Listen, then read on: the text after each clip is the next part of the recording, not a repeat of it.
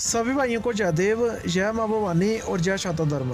तो भाइयों, राजपूत लैंड हिमाचल, जम्मू को छोड़कर भारत में सबसे ज़्यादा वोट बैंक वाली लोकसभा सीट, जिसका नाम है गौतम बुद्ध नगर, जहाँ से क्षत्रिय सबसे ज़्यादा होते हुए भी इतिहास चोर को जिता देते हैं। तो भाइयों, इस बार उल्टफेर होने वाला है, क्योंकि बीएसपी ने भी इस बार ठाकुर कार्ड खेल दिया है। तो भाई खबर आ रही है कि सिकंदराबाद, जो कि बुलंदशहर में पड़ता है, उसके पूर्व एमएलए ठाकुर राजेंद्र सिंह सोलंकी को बीएसपी टिकट देने जा रही है।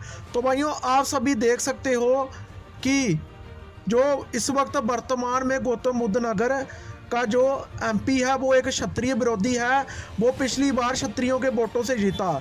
इस लोकसभा में सबसे ज़्यादा क्षत्रिय हैं। लगभग साढ़े चार लाख क्षत्रिय हैं। इसके अलावा मुस्लिमों की आबादी साढ़े तीन लाख है, उसमें पचास हज़ार से एक लाख मुस्लिम राजपूत हैं, उनको भी मिला लें तो पाँच लाख से ज़्यादा क्षत्रिय इस लोकसभा सीट पर हैं। तो आप सभी देख सकते हैं कि कोई भी कौम क्षत्रियों के आसपास नहीं टिकती आबादी के मुताबिक, क्योंकि इस लोकसभा में पाँच सीटें हैं, जिसमें आप सभी देख सकते हो, इसमें दादरी को छोड़ दें तो सबसे ज़्यादा जहाँ पर क्षत्रिय बोर्ड हैं, दादरी में भी अच्छे खासे क्षत्रिय बोर्ड हैं, जो कि दूसरे नंबर पर हैं।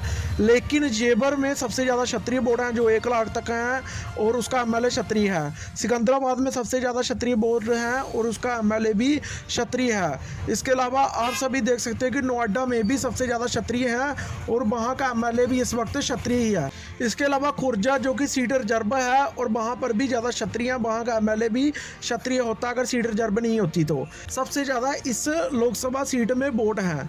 फिर भी बीजेपी आरएसएस क्षत्रिय समाज को टिकट देने को तैयार नहीं और जिसको टिकट देती है, वो पिछली बार क्षत्रियों के वोटों से जीता।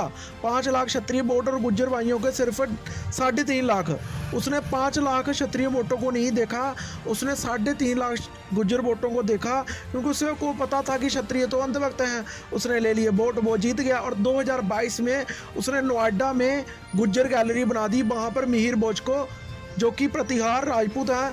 मीर बोझ का वंश होता है प्रतिहार, जो कि सिर्फ़ आज क्षत्रियों में है, जिसको हिंदी में परिहार बोलते हैं। तो भाइयों, उसका इतिहास चुरवाने का काम किया। वो बंदा जो क्षत्रिय बाहुल्य सीट से जीतता है, जहाँ पर सबसे ज़्यादा क्षत्रिय वोट है, क्षत्रियों का ही इतिहास चुराता है। भारत का सबसे बड़ा क्षत्रियों का अगर कोई इतिहास चोरा है तो ये महेश शर्मा ही है, जिसको हराना बहुत ज़्यादा ज़रूरी है, और इस वक्त इसको हार, इसकी संभव है ही है। अगर क्षत्रियों ने अंतभक्ति नहीं ना दिखाई, मैं जितने भी युवा क्षत्रिय हैं, उनको बोलना चाहता हूँ कि पूरे के पूरे दिलवा दो, क्योंकि ये कॉन्स्टिटेंसी बहुत बड़ी है। घर में बूढ़ों को सबको बताओ, इसने मीर बोझ का इतिहास चुरवाया था इसने गैलरी बनवाई थी, अब इससे बदला लेने का वक्त आ गया है। तो आप सभी देख सकते हो कि अगर पाँच लाख क्षत्रिय वोट इकट्ठे हो जाते हैं, इसके अलावा हमारे दलित भाइयों के भी तीन लाख से ज़्यादा वोट हैं। आठ नौ लाख वोट अगर हम एक तरफा जोड़ लगा देते हैं, चलो पूरे हम आठ लाख वोट भी ले लेना पूरे बीस लाख भी नहीं वोट बढ़ते हैं जो तेईस लाख में से।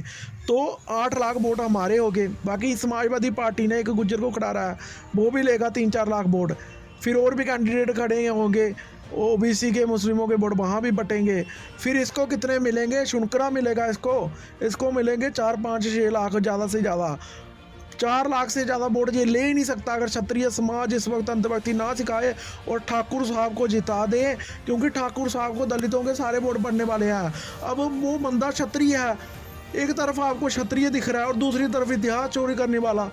तो अब आपको देखना है कि किस साइड जाना है। तो सभी भाई वीडियो को ज़्यादा से ज़्यादा शेयर करें और ठाकुर साहब को वोट दिला दिलाकर तो जिताने का काम कर। चाहते हैं कि हम आगे भी ऐसे ही सिर्फ़ अपनी कौम के लिए आवाज़ उठाते रहें, जो कि मेरे लिए सबसे पहले अपनी कौम है।